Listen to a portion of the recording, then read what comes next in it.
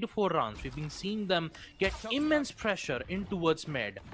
And next thing you know, they just started to corner young esports while they're, you know, going in for that execute. So Careful. maybe if they try to play in for peace and wings, oh boy, uh, not good once again. Showstopper sees the info. Can he get the kill? Yep. He gets the second, third, easier said than done.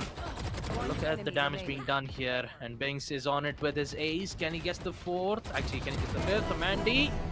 Yes, he does. An ace for Binks. We see Team 69. 9 to 1. What a match. Khatam.